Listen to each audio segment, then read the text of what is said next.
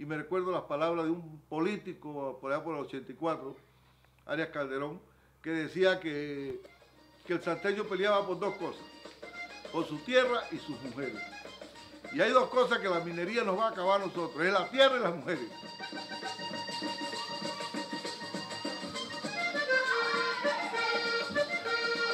La personalidad del hombre de Tonosí, del hombre de Macaraca, del hombre de, la montaña, para decirlo de alguna manera, siempre ha sido rebelde, ¿no?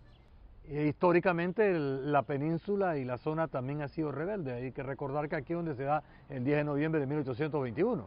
Hay que recordar que los españoles que fundan la villa lo fundan sin autorización de la corona. La fundaron porque querían fundarlo y se acabó.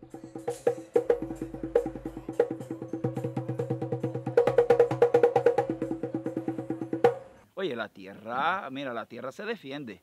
La tierra para nosotros es una de las, de la, hablar como de nuestra madre, porque ella nos da el sustento, si es en la ganadería, en la ganadería, si es la lechería, la ganadería, si es la agricultura también. Y, eso no puede fallar. Creemos en, en que la tierra para todos y cada uno de los santeños tiene un valor por encima de cualquier tipo de proyectos mineros. Hay una cosa que los mineros no entienden esto no es Veragua, y no estoy diciendo que Veragua sea, sea menos. Esto no es Chiriquini, esto es Coclé. Aquí hay un minifundio, aquí la pequeña propiedad, y el hombre de Herrera y los Santos tiene un concepto de esto es mío, esta es mi cultura, por eso el folclore.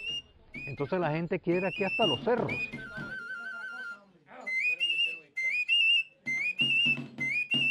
Cerro Quema para la gente no es simplemente un cerro, es un símbolo de lo que ellos son. Nosotros no somos gente de estar pidiendo trabajo a los gobiernos, pero sí somos gente que defendemos los, intereses nuestros. La gente piensa que es fácil llegar acá y tratar de... Esto desde 1986, nosotros hemos tenido una sola lucha. Ernesto Pérez Valladares fue uno, que acá se nos, se nos, también se nos trató como si fuéramos gente de segunda naturaleza, de segunda clase, con policía y cuarteles acá, en aquella época. Y sin embargo luchamos y ellos se tuvieron que ir. Es una tristeza cuando nosotros estamos pidiendo justicia y cuando el gobierno nos manda, como ustedes los ven aquí, señores de televisión, señores de la prensa. Que Lo que sucedió en el 97 es que los ánimos estaban caldeados, eh, había una oposición realmente férrea en la península, se contó con eh, eh, apoyo de sectores del Valle de Tonosí, de Macaracas, de Las Tablas, bueno, de la mayoría de los distritos, y se dio una represión una represión donde no hubo ni tan siquiera conversación en una manifestación que teníamos frente a la mina. Muy bien, damas y caballeros, esto es parte de lo que está aconteciendo en la fecha de hoy aquí en Cerro Quema de Torosí, en vivo y a todo color en la fecha de hoy a través de la gran cadena exitosa. Escuchemos. Estamos haciendo la, los policías antimotines contra el pueblo de Torosí. Vemos que están disparando. Están disparando, la guardia está disparando. Ahí vemos cómo disparan los la acción se está dando en el pueblo Esto es histórico, señores. Esto es histórico. Esto es histórico como el gobierno. En aquella ocasión eh, fue puesto preso una gran cantidad de personas en el año 97. Eh, después de eso vino una actitud de parte de los gobiernos de eh, acoso a la gente que vivía en el área de Tonosí.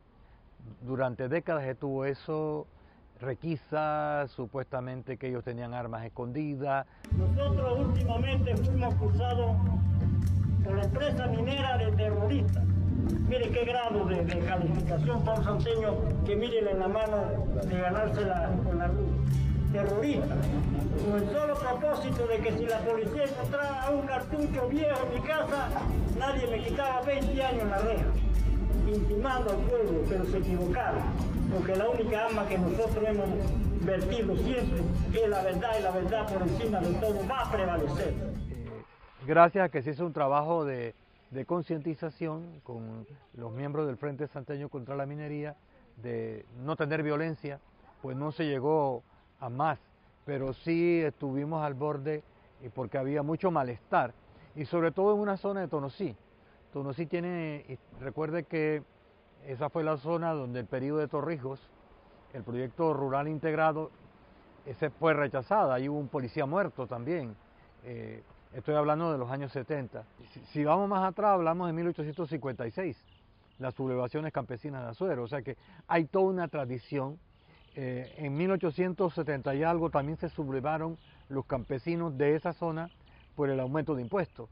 Aquí confluyen fenómenos de tipo sociológico, culturales, históricos, que explican el por qué la reticencia a lo largo de más de 20 años de oponerse al proyecto minero de Cerro Quema.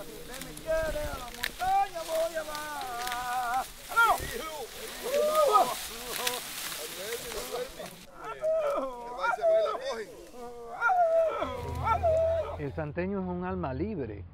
El santeño le gusta tener su propiedad, ama el trabajo, este, no le gusta que le impongan cosas de afuera.